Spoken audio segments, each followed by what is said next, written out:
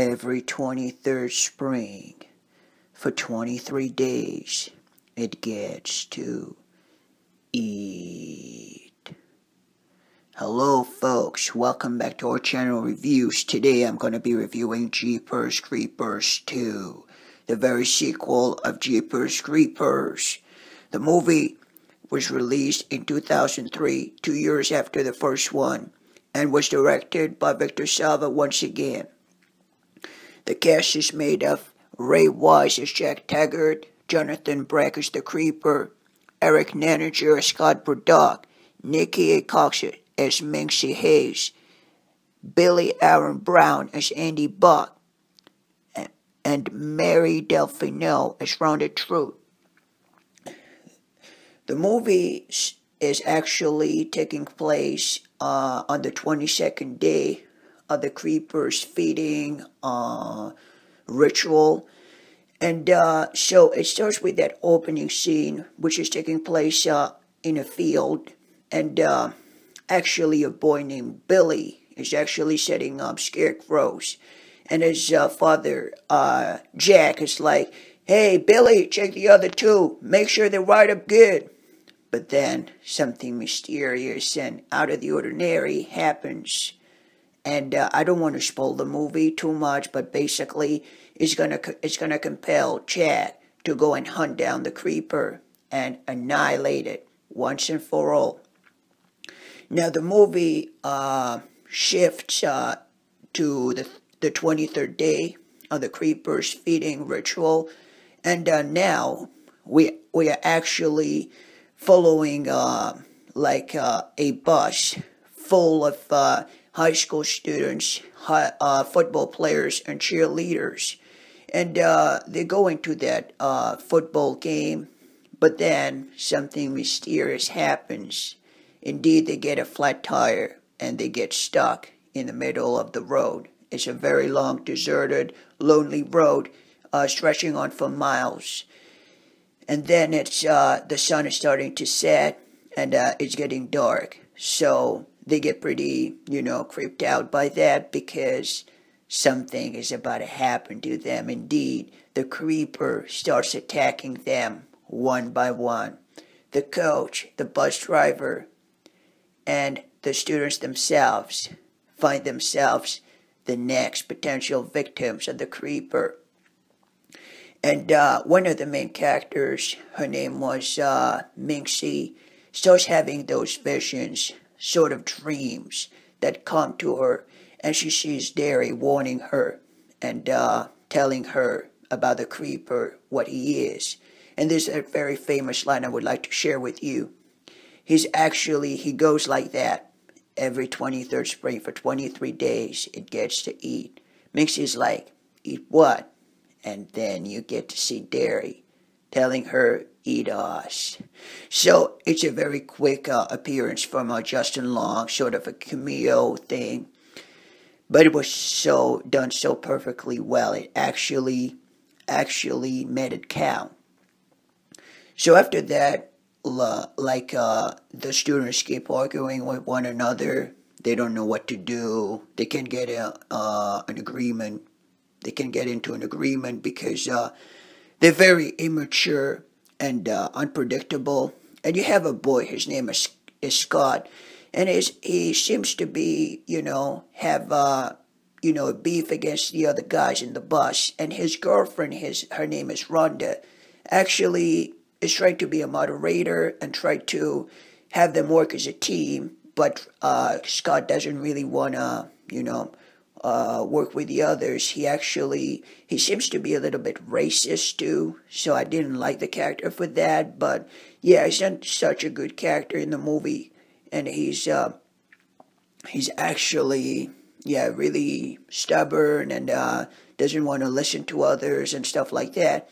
And uh, I believe that uh, Rhonda is his ex girlfriend and uh, so, yeah, there's uh, some bad blood between them or something, but still they're trying to, you know, make it work, but it doesn't seem to be working that well. Now, uh, the creeper is going to attack the bus at night and they're going to find themselves trapped in the bus. So you have that notion of entrapment, sort of a claustrophobic setting. And they don't know what to do. If they go out, the creeper may, you know, attack them and kill them and eat them. But if they stay inside, the creeper could could as well, you know, get inside as well and uh, you know attack them. So he's trying to sort out who to take, you know, uh, who may be his next prey. And that was such a powerful scene. The creeper in that movie was so so scary, so terrifying actually, especially when he's peering inside the bus. It's in the middle of the night and everything is uh is so dark all around, and you have the creeper's face just there st- staring. Yes, that was so creepy. Uh, so I believe I said it all for the movie. I don't want to spoil spoil it too much or anything, but then you're gonna have Jack coming along with this uh with a homemade harpoon to try to, you know, kill the creature basically because it's his 23rd day, which means that it's uh, the last day. And after that, he'll be gone for 23 years before reappearing again. So that's pretty much it for the movie. Now let's move on to my views. I freaking love the movie. The opening sequence with the scarecrows was so so scary, so terrifying, so mysterious, so eerie. It introduced, you know, the movie in a beautiful way, in such a creepy way, in such gruesome details at some point. That was such a great scene. I really liked the movie stars.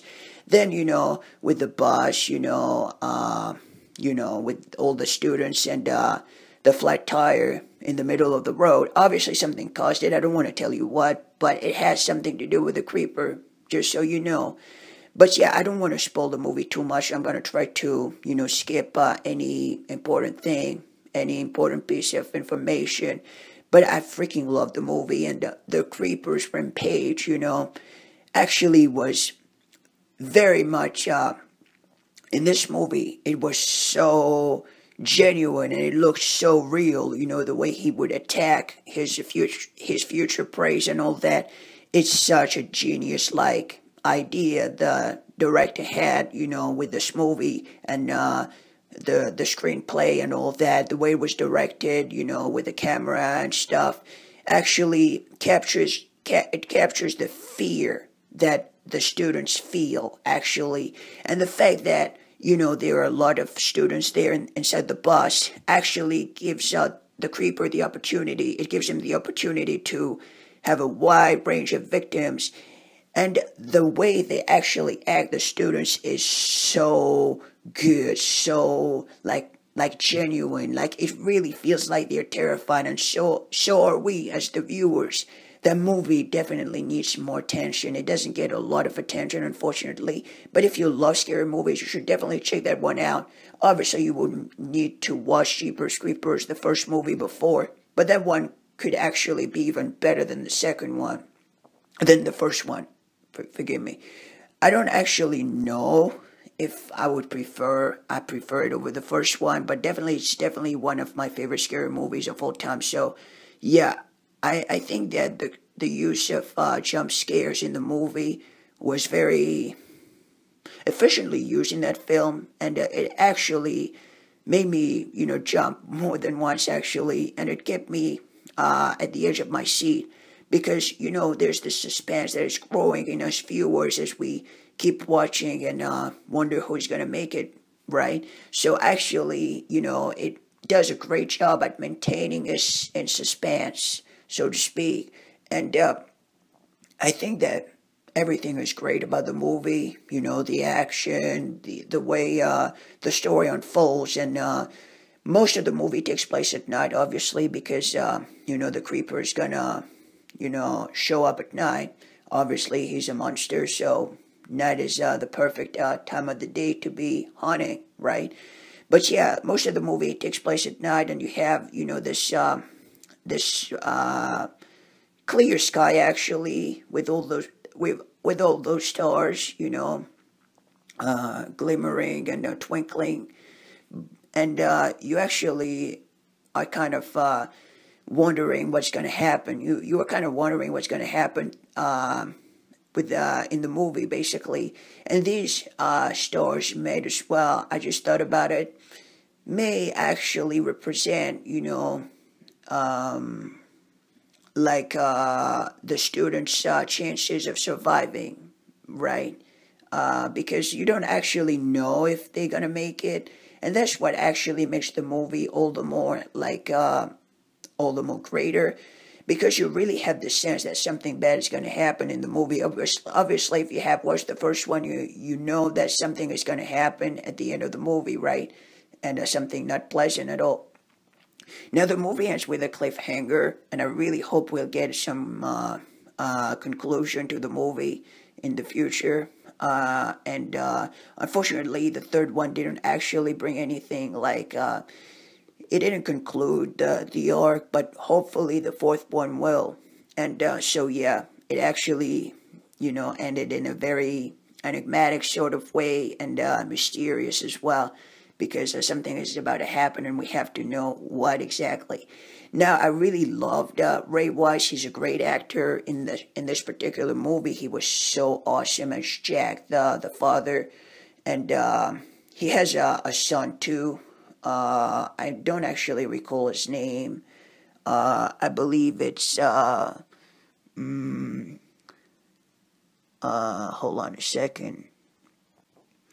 It's Taggart, his last name. Yeah, I believe it's Jack, Jack, um, or, yeah, Jack, Jackie Taggart Jr., something like that. I don't actually remember.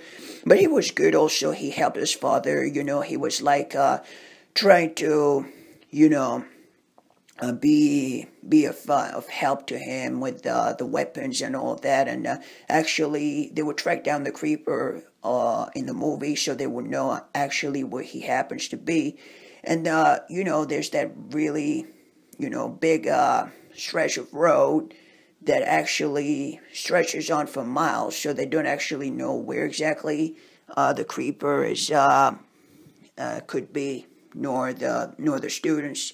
And uh, yeah, also what I really liked about the movie is uh, basically uh, they're gonna try to find him, and you have that quest actually that is actually a very good way of um, you know playing on uh, the mysterious aspects of uh, the movie itself, of what the the myth is, the myth and uh, this uh, creeper, which was coined actually "Bat Out of Hell" in this uh, in this movie at the end, I believe.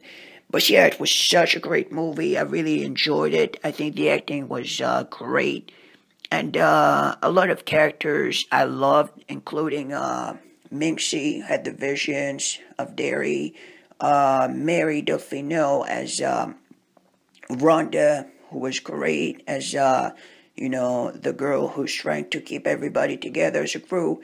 And you have a scene actually, which is quite funny, when one where one of the guys says, uh, "So what are we supposed to do? We are supposed to stay. Are we supposed to stay in or go out? Something like that, you know?" And he's like, uh, "So now we there are two groups, right? The ones who will be eaten and the ones who won't be eaten." Something like that. Sorry if I didn't get the line that right. I'm gonna try to, you know, uh, know more about the characters uh, I'm sorry, there's so many. I kind of forgot most of them. There's uh, a South, uh, um, an uh, African American uh, boy who's actually uh, one of the main actors, and I really liked the way he was, you know, trying to stay stay focused and stay clear from the creeper. I think that was such a great thing to see in, in this particular movie. And he keeps on arguing with or Scott, basically. They don't get along with one another. So that's pretty much it. Uh, if I were to give that movie uh, a rating, I would give it 9 out of 10. It was such a great scary movie. If you haven't watched it already, you should definitely check this one out. And uh, yeah, that's pretty much it for that review. So, what did you think about Jeepers Creepers 2? Did you like it? Did you hate it? Do you think it's a good sequel? Do you think it's a bad sequel? Please let me know in the comment section down below, folks. And uh, in the meantime, stay safe. Goodbye. Take care. This is Horror Channel Reviews for you, signing off.